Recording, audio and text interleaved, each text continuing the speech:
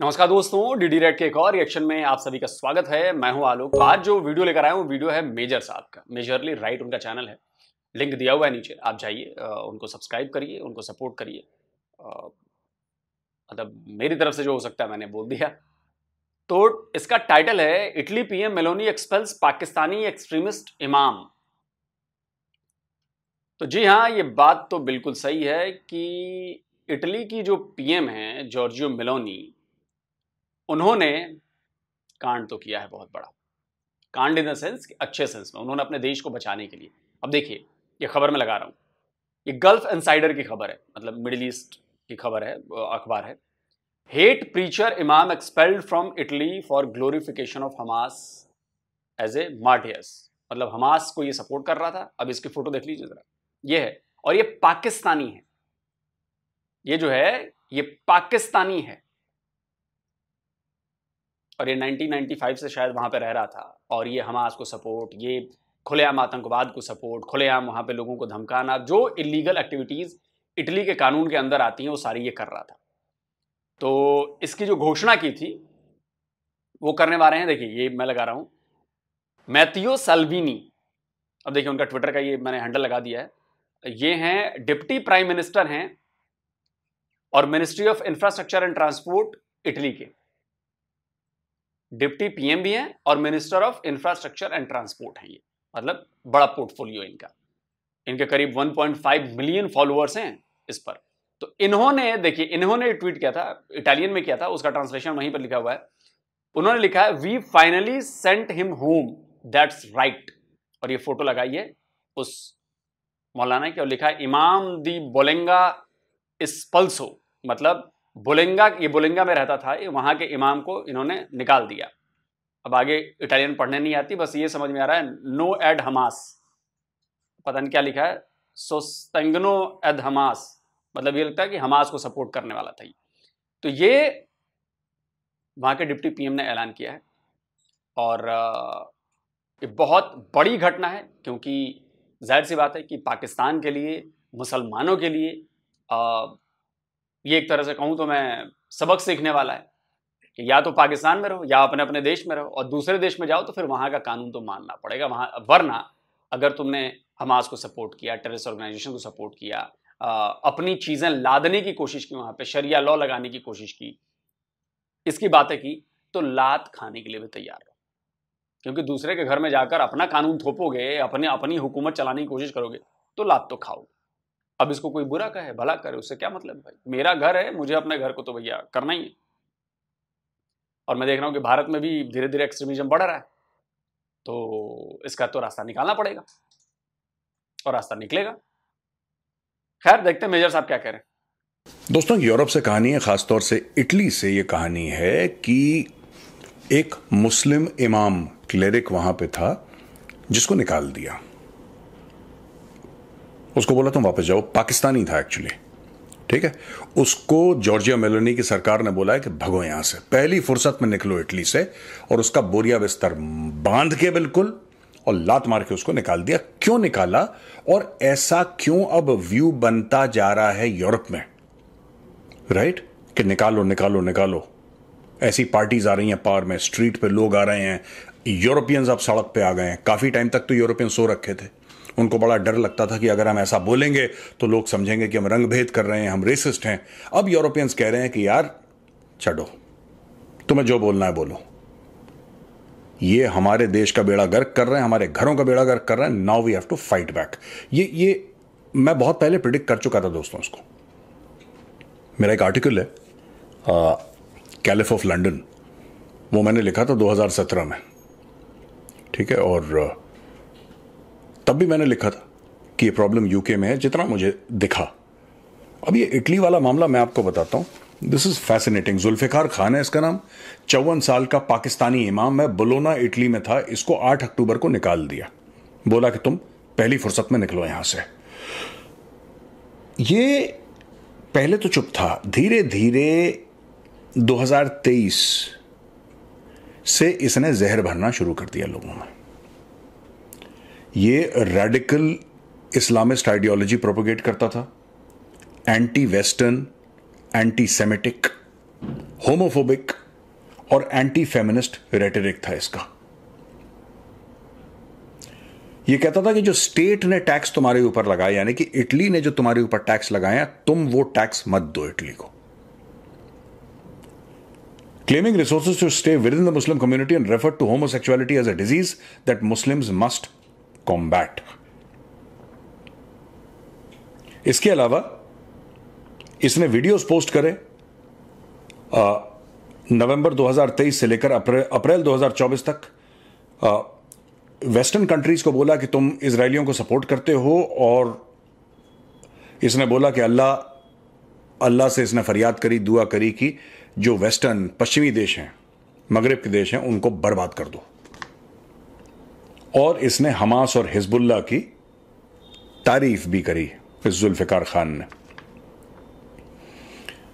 इसने मई 2024 में एक मॉस्क में हमास की बड़ी तारीफ़ करी बोला कि वो अपने लैंड को डिफेंड कर रहे हैं और ये बोला कि वो टेररिस्ट ग्रुप नहीं है। एंड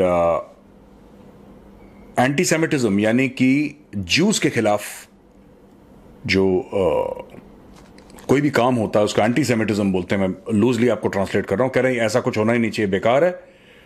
और इसने अमेरिका और इसराइलीज को टेररिस्ट बताया और बोला कि Hamas Hezbollah Syria, Iran, Yemen, ये कभी सिविलियंस को हार्म नहीं करना चाहते। और फिर इसने अल्लाह से दुआ करी कि वेस्टर्न कंट्रीज़ पे यू नो को उनका बुरा हो जाए डिस्ट्रॉय हो जाए वो। और फिर इसने इटालियन कॉन्स्टिट्यूशन को, सुनिएगा ये मज़ेदार आदमी है इसने इटालियन कॉन्स्टिट्यूशन को डिफेंड करा। अब मैं आपको दो तीन चीज़ें बताता हूँ, फिर मैं आगे बताऊँगा इसको। मुझे तो एक बात ही समझ में नहीं आती कि अगर आपको वेस्ट पसंद नहीं है, अगर आपको पश्चिम पसंद नहीं है तो जाते क्यों वहाँ पे? और वही सेम देखिए रेडिकल इस्लामिस्ट है ना, उनका एक तरीका है काम करने का। भारत में भी यही सवाल है कि भैया, जब जो चीज़ तुम्हें पसंद नहीं है, जो चीज़ तुम्हारे रिलीजन के हिसाब से नहीं है, जहाँ पर तुम्हारे रिलीजन के उल्टे चीज़ें की जाती हैं, तुम वहाँ पर करने क्या जाते हो भाई? मत जाओ ना, इतनी गैरत बची है क्योंकि तुम लोग बेगैरती हो। जहाँ जिस चीज़ से फ़ायदा होगा, तुम उस वहाँ घुस जाओगे। और फिर उस फ़ायदे से अपना फ़ायदा उठा लोगे, फिर कहोगे बेकार है यार, अबे तो गए क्यों तुम वहाँ पे? क्यों जाते हो वहाँ पे? ये जितने मुसलमान भाग भाग के वेस्टर्न कंट्रीज़ में जा रहे हैं, चाहे कनाडा जा रहे हैं, चाहे अमेरिका जा रहे हैं, चाहे यूरोप के देशों में जा रहे हैं, अबे तुम किस लिए जा रहे हो तुम लोग वहाँ पर? अपने देशों में रहो ना यार। इस्लामिक देश हैं, उससे जब इस्लाम ही चाहिए तो वहाँ पर रहो। क्यों जाते हो वहाँ पे? भीख मांगने से लेकर, काम करने से लेकर सब कुछ तुम्हें नॉन मुस्लिम देशों में चाहिए। सारी सुख सुविधाएँ अपने बच्चों को पढ़ाना सब नॉन मुस्लिम देशों में चाहिए, क्योंकि वहाँ पर बेहतर चीज़ें हैं। और फिर उन्हीं को गाली दो। फिर कहोगे जो, हम तुम्हारे ऊपर कब्जा कर लेंगे और हम तुम्हारे ऊपर शरिया लॉ लगाएँगे। कब तक कोई सहेगा यार? एक लिमिट होती है ना किसी चीज़ की। भारत में भी यही करते हैं। हर जगह एक ही तरीका, एक तरीका है काम करने का, ठीक है? पहले आप जाओ कहीं पे, किसी भी देश में, और वहाँ पे जाके आप उस देश के संविधान को समझो और उसका फ़ायदा उठाओ, और आप ह्यूमन राइट्स का फ़ायदा उठाओ। इसने क्या बोला, जुल्फिकार खान ने? इमाम है। ये कह रहा है वेस्टर्न कंट्रीज़ खुद एक वेस्टर्न कंट्री में रह रहा है। खुद एक वेस्टर्न कंट्री में रह रहा है और कह रहा है कि जिस देश में तुम रह रहे हो, ये वहाँ के मुस्लिम्स को भड़का रहा है और बोल रहा है, भाइयों, जिस देश में तुम रह रहे हो, जिस मुल्क में इटली में तुम रह रहे हो, जिसका तुम नमक खा रहे हो, जहाँ पे तुम काम कर रहे हो, तुम इसको टैक्स मत दो। तुम बगावत कर दो अपने मुल्क से। ये भड़का रहा है। और जब इसको यह बोला कि हम तुम्हें निकाल देंगे, तुम्हारे खिलाफ कानूनी कार्रवाई होगी तो जुल्फिकार खान ने सिंपल सी बात यह बोली है कि ये तो फ्रीडम ऑफ़ स्पीच है। ये तो फ्रीडम ऑफ़ देखिए कितनी खूबसूरती की बात है ये। ये तो फ्रीडम ऑफ़ स्पीच है। आपका कॉन्स्टिट्यूशन मुझे अलाउ करता है। यही अगर मुस्लिम देश में होता ना, यही अगर मुस्लिम देश में होता। सरतन से जुदा, सरतन से जुदा। तुम करके देखो ये। ये जितने भी ऐसे जुल्फिकार खान जैसे पगलेट हरकतें करते हैं, ये वेस्टर्न कंट्रीज़ में करते हैं दोस्तों। They do it in western countries ये कभी मुस्लिम देशों में नहीं करते। आप करके दिखा दो। ये तो बहुत बड़ी बात कर रहा है। पाकिस्तान अपने आप को डेमोक्रेसी कहता है। झूठी सही। झूठी ही सही पाकिस्तान अपने आप को डेमोक्रेसी कहता है। आप पाकिस्तान में करके दिखा दो ये। आईएसआई आपको उठा के ले जाएगी। काली वीगो आएगी। बैठा के ले जाएगी, चार दिन के बाद छोड़ेगी। चार दिन के बाद आप ऐसे मुस्कुराते हुए निकलेंगे, सॉफ्टवेयर अपडेटेड आपका होगा, वाह आप कहेंगे, पाकिस्तान जैसी कोई जगह ही नहीं आईएसआई के पास है खास इंस्ट्रूमेंट्स जिससे वो सॉफ्टवेयर अपडेट करते हैं। आप सऊदी अरेबिया में जाके देखिए, ये सारी की सारी ना, ये रेडिकल इस्लामिस्ट पॉलिटिक्स है दोस्तों, उसको समझने की ज़रूरत है। आप कहीं पे भी देखना, भारत में भी आप देखेंगे कि रेडिकल इस्लामिस्ट मैं मुसलमानों की बात नहीं कर रहा हूँ मैं रेडिकल इस्लामिस्ट की बात कर रहा हूँ, इनका गठजोड़ लेफ़्ट के साथ रहता है, वामपंथियों के साथ। और वामपंथी भी इतने गधे हैं, इनके साथ गठजोड़ करते हैं, और जब उनको ये बात, भली भांति उस चीज़ से परिचित हैं राइट कि किसी भी इस्लामिक देश के अंदर यह गठजोड़ नहीं है। आपको क्या लगता है रेडिकल इस्लामिस्ट का सऊदी अरेबिया में लेफ़्ट के साथ कोई गठजोड़ है, वहाँ पे लेफ़्ट है ही नहीं। मुस्लिम देश में लेफ़्ट हो जाए, वो पनपने नहीं देते। सरतन से जुदा। स्ट्रेट अवे और कम्युनिस्ट कंट्री में इस्लाम को नहीं पनपने देते। चाइना देखिए शिंगजांग प्रोविंस में पंद्रह सौ मस्जिदें तोड़ दी उन्होंने। क्या बोल के कि मस्जिद में गुंबद है? कह रहा गुंबद तो चाइना का आर्किटेक्चर है ही नहीं। आप दिमाग देखिए इनका चाइनीज़ का। चाइनीज़ कह रहे हैं कि तुम्हारा मस्जिद मस्जिद के ऊपर गुंबद हो, गोल। उसने बोला, ये तो चाइनीज़ है नहीं, ये कहा तो अरे अरब से आया है ये। कहा साहब अरब से आया है? कह रहे, नहीं चाइना में बनाओगे तो हमारे हिसाब से बनाओगे। चाइनीज़ ने कुरान चेंज कर दी। इनसे बोला कि भाई, कुरान के अंदर कोई चाइनीज़ तो आदमी तो है ही नहीं। किसी चाइनीज़ आदमी की तो कहानी इसमें होनी चाहिए। आपने कितने लोगों को मेंशन करा है कुरान में? कितने लोगों का नाम लिया है आपने? इसमें एक भी चाइनीज़ नहीं है। तो जो वहाँ पे मौलवी मौलाना थे, उन्होंने बोला कि नहीं एक्चुअली ऐसा है साहब कि ये तो जो कुरान जो थी, जो नाजिल हुई या रिवील हुई, ये तो सऊदी अरब में हुई तो उसमें चाइनीज़ का क्या मतलब है? कह रहे, कैसे बच्चों वाली बात कर रहे हो? तुम रह रहे हो चाइना में, खा रहे हो चाइना में, इसमें कोई चाइनीज़ कैरेक्टर नहीं है? चेंज करो. उन्होंने पूरी कुरान एडिट कर दी अपने हिसाब से। अब उसमें चार पाँच चाइनीज़ कैरेक्टर डाल दिए। पूछा इमामों से, ये जैसे इमाम है ना जुल्फिकार खान, देखो जहाँ पे चलती है, वहाँ पे रेडिकल इस्लामिस्ट अपनी चला देता है, वो चला देता है अपनी। तुम चाइना में चलाओ, मज़ा आ जाएगा तुम्हें। उसने बोला कि नहीं साहब, हम सुअर हराम है, नाचना गाना हराम है, शराब हराम है। तो चाइनीज़ कम्युनिस्ट पार्टी ने इकट्ठा करा इमामों को, बोला कि ठीक है, तुम्हारे लिए हम दावत कर रहे हैं तो आए, दौड़े दौड़े। दावत में शराब थी और सुअर था। पहले बोला, इमाम साहब और कई सौ इमाम मतलब ऐसा नहीं कि एक दो, कई सौ इमाम। पहले ये सामने सुअर, इसको खाओ। कह, नहीं खाएँगे। कह रहे, नहीं खाओगे तो फिर इस दुनिया से जाओगे। तो इमाम ने बोला, शौक से खाएँगे। खाया। टाइट भी कर दिया इनको। समझ रहे, टाइट? टाइट भी कर दिया। और फिर बोला, नाचो। ये फ़ोटो है, नाचते हुए इमाम की। दोस्तों, ये भी गलत है, जो चाइना कर रहा है। मैं कह रहा हूँ जो चाइना कर रहा है, ये भी गलत है, नहीं करना चाहिए। लेकिन ये जो इमाम कर रहा है ना वहाँ पर, इस जैसे इमाम जो इटली में कर रहे हैं, ये भी गलत है। आप एक शरीफ लोगों का फ़ायदा उठा रहे हैं। आपको नहीं पसंद है वेस्ट, आप मत, आप आते क्यों? मुझे ये समझ में नहीं आता आज तक। पाकिस्तान में तुम करते जहर फैलाते, तुम्हारे जैसे जाकिर नायक टाइप के छोटे तुम उर्दू स्पीकिंग जाकिर नायक बन जाते तुम। गंद मचाते वहाँ पे अपना पाकिस्तान में, वहाँ पे इतना मचा हुआ है, तुम भी मचा लेते। नहीं। इनको जाना है वेस्टर्न कंट्रीज़। फिर वहाँ पे फसाद करना है और जब वो निकालेंगे, वहाँ से एक्शन लेंगे, फिर आपको विक्टिम कार्ड प्ले करना है, फिर आपको कॉन्स्टिट्यूशन का हवाला देना है। ये सारे ड्रामे करने बॉस, अब वेस्ट जाग चुका है, अब एक एक करके चुन चुन करके वो लोग डिपोर्ट कर रहे हैं और उनकी पुलिस एक्शन ले रही है। ये जो आज तक चलता चला गया ना, अब नहीं चलेगा ये। और बिल्कुल सही बात है। बिल्कुल सही बात है और ये चलेगा नहीं। और हर जगह से लात पड़नी तय है। और लात पड़नी भी चाहिए। मुसलमानों को यह समझना होगा कि देखो, दूसरे के कंट्री में जा रहे हो तो पजामे में रहना सीखो, वरना पजामे से बाहर निकालकर दौड़ाया जाएगा। और वही हो रहा है। क्या किसी मुस्लिम देश में कोई दूसरे रिलीजन का बंदा आकर जो ये सारे काम ये लोग करते हैं, अगर वो करना शुरू कर दे? करना शुरू कर दे। मैं कहता हूँ, पाकिस्तान की ही मैं एग्ज़ाम्पल लेता हूँ। बीएलए है। कोई दूसरे देश का बंदा आकर, जो नॉन मुस्लिम है, वो आकर वहाँ पर बीएलए की बीएलए को सपोर्ट करना शुरू करे बीएलए के लिए फंड से इकट्ठा करे पाकिस्तान में आकर। क्या पाकिस्तान की सरकार उसको छोड़ देगी? क्या पाकिस्तान की एजेंसीज उसको छोड़ देंगी? क्या पाकिस्तान के लोग उसे अच्छी नज़र से देखेंगे? नहीं देखेंगे ना?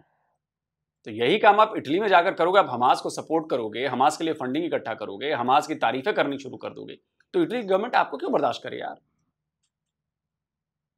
वो तो अच्छा है कि इटली में एक सेकुलर सरकार है, उसने सिर्फ़ डिपोर्ट किया है। यही काम अगर पाकिस्तान में हो रहा होता तो पाकिस्तान में तो लिंचिंग हो जाती ना भाई। डिपोर्ट डिपोर्ट करने की तो बाद में बात है, पाकिस्तान में तो लिंचिंग हो जाती नॉन मुस्लिम बंदे की। और क्यों जो भी नॉन मुस्लिम देश में जो मुसलमान गए हैं, जो अपना एजेंडा चलाना चाहते हैं, क्यों उन्हें लात मार कर उनके पिछवाड़े पर उनको भगाना चाहिए? इसका एग्ज़ाम्पल देता हूँ। मैं आपको बात समझ में आई, शायद आ जाए खासकर मुसलमानों को, बाकियों को मैं चेतावनी के लिए ये एग्ज़ाम्पल दे रहा हूँ। अब देखिए यह अखबार लिखता है, स्विट्जरलैंड की खबर है। Migrant liberal politician uses Mary and Jesus images for target practice नीचे फ़ोटो भी लगी है, उसमें आपको देख रहा होगा। गोलियों के निशान है पता नहीं जो भी है, जिसके लिए छेद के निशान है। जीसस और मैरी की तस्वीर और ये स्विट्जरलैंड की बात है। लिखा है, Sanija Ameti is a Bosnian Muslim who is known for her provocative acts ये स्विट्जरलैंड में रहती है, बोस्निया के मुसलमान। और वहाँ की पार्टी से संबंधित है। देखिए Zurich green liberal party GLP उसकी ये नेता है मतलब आपने स्विट्जरलैंड के संविधान का फ़ायदा उठाया, आप वहाँ के लिबरल होने का फ़ायदा उठाया आपने, आप नेता बन गई, आप वहाँ की पार्टी में शामिल हो गई। और इन्होंने इंस्टाग्राम पर फ़ोटो पब्लिश की, एक शूटिंग एक्सरसाइज की, जिसमें इमेज लगी थी मैरी एंड जीसस की। अब आप बताइए कि कोई क्रिश्चियन अगर इसको देखेगा, उसके दिमाग में क्या आएगा? आप इंसल्ट कर रहे हो मैरी और जीसस की? क्या ये एक्सेप्टेबल है?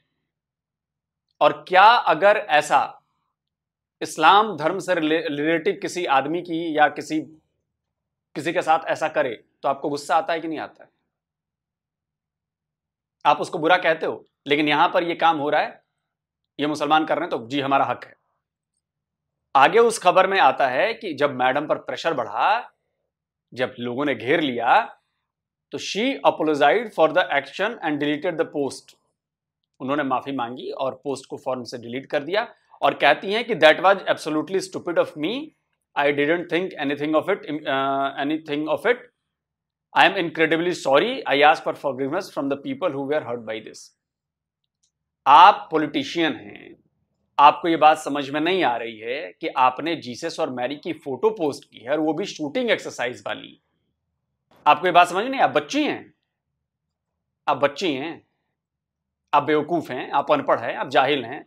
यानी कि आपने प्रोवोकेट किया और जब लोग ज़्यादा प्रोवोकेट हो गए, आपको लगा कि यार कहीं हमें भी डिपोर्ट ना कर दिया जाए तो आपने फट से माफ़ी मांगती हूँ, जी सॉरी, गलती होगी आप बताइए प्रोफेट मोहम्मद के जिन लोगों ने कार्टून बनाए थे, क्या हुआ उनका? मुसलमानों ने मार डाला उन्हें। आप तो बर्दाश्त नहीं करते, आपके रिलीजन पर कोई सवाल उठाए तो। लेकिन जब दूसरे रिलीजन पर आप सवाल उठे तो आप माफ़ी मांग के आप काम चलाना चाहती हैं। यह है फ़र्क, जो आप लोग ये दोगलापन दिखाते हैं। ठीक है?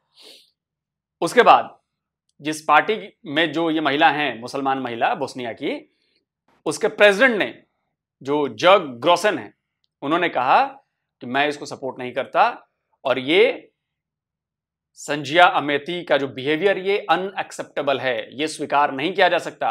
और it was a deliberate provocation ये जानबूझकर किया गया उकसाने का काम है। The GLP Switzerland is also seeking talks with her we are not ruling out consequences consequences we are not ruling out consequences इसका मतलब यह हुआ कि जो जीएलपी है, वो कह रही है कि इसके बदले कार्रवाई होगी। और फिर नीचे डिटेल दिया है, Sanija Ameti is a Bosnian Muslim whose family came to Switzerland as refugee as 1995 अब आप समझ रहे हैं? आज से 30 साल पहले इनकी फैमिली आई, शायद वहीं पली बड़ी, वहीं पे हुआ, लेकिन उसको शिक्षा क्या मिली? टीचिंग्स क्या मिली? वो नफरत की टीचिंग मिली जिसका उसने मुजाहरा किया है। ये हो गई पहली वजह, ठीक है? अब आता हूँ मैं एक दूसरी भी खबर है। Islamist cleric fund raising to convert remote Scottish island into Muslim homeland अब देखिए जी।